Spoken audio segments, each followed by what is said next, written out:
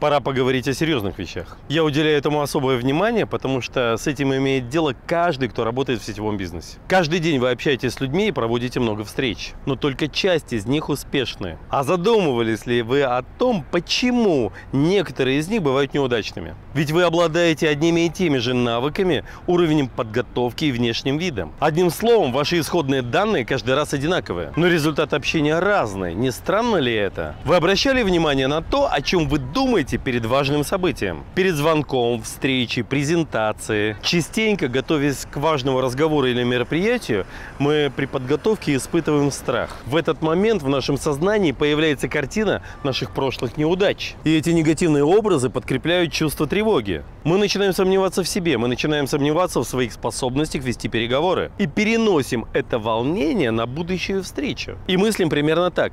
Только не сделай эту ошибку еще раз. Тем самым только увеличиваем вероятность того, что эта ошибка повторится еще раз. Часто после этого люди говорят, я так и знал. Не помня о том, что, по сути дела, сами запрограммировали себя на эту неудачу. Почему так происходит? У каждого из нас есть свой собственный внутренний переговорщик, внутренний консультант и внутренний профессионал. Он помнит все наши встречи, консультации и разговоры по телефону. И не просто помнит, он знает о всех ошибках, которые мы сделали в той или иной ситуации. Конечно, он помнит и успешные моменты, когда вы достигали своей цели. И именно этот внутренний консультант определяет, как вы проведете встречу. По сути, это ваша внутренняя сила. Это вера в то, достойны вы успеха или нет. Особенно это важно в той обстановке, когда взволнованы или напряжены. В эти моменты ваш внутренний консультант полностью руководит вашим поведением. Чем выше напряжение, тем более неожиданно для вас может повести себя ваш внутренний консультант. В одной ситуации он проведет переговоры блестяще, настолько великолепно, что вы сами удивитесь тем результатом,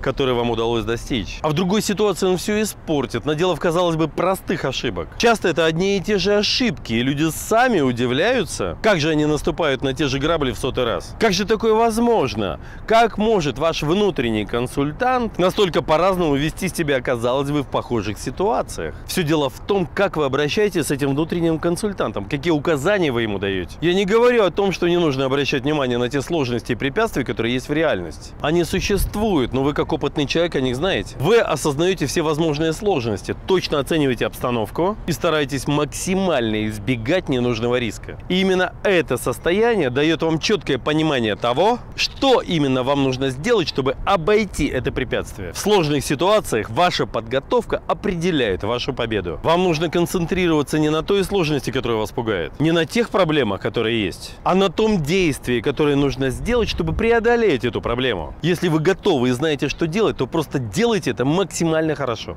Вложитесь в удар, а не размышляйте о необходимости делать ли его. Страх – это худший советник. Именно поддавшись страху, люди становятся нерешительными говорят не то, что нужно, проваливают встречи и терпят поражение. Ваша задача постоянно контролировать это состояние и не позволять страху и сомнениям брать над вами верх. Да, страх это естественное состояние. И пытаться делать вид, что его нет, бессмысленно. Вам нужно контролировать свой страх, неуверенность и беспокойство. А для этого вам нужно признать, что вы испытываете это состояние. Посмотреть ему в лицо и сконцентрироваться на решении задач, стоящих перед вами. Когда вы видите свою цель и не отвлекаетесь от нее, тогда вы будете уверены в себе и в своей победе. Именно это состояние вы должны воспитывать и поддерживать в себе. И именно оно приведет вас к успеху.